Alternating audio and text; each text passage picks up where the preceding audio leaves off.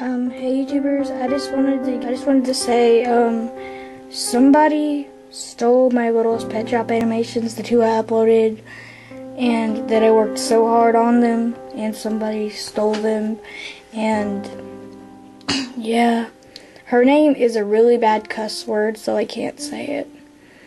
I am not allowed to say cuss words until I'm 18. Gross. but anyways, um, as soon as I saw that someone stole it, I was really, really sad. And yes, I will put the video link in the description. The person that copied.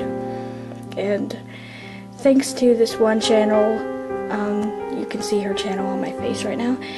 This is the person that commented that she um, stole my videos, and I appreciate it, and I subscribed you back. Thank, Thank you very much. We would have never found out. You are a really nice person. You are really awesome and key. Yes. So yeah, I appreciate it, and I will give proof that I made it by showing the LPS in all the marks that were on LPS in the video.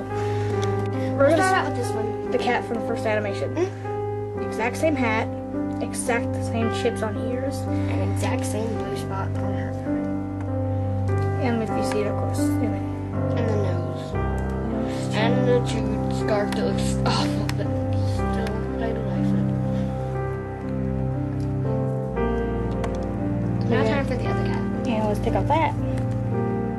Here, off the other cat. Exact same dot on the eye that was I couldn't get off. Exact same chips around the mouth and nose. exact same scar on her chest. The exact same white crayon on her ear. I didn't turn her head really.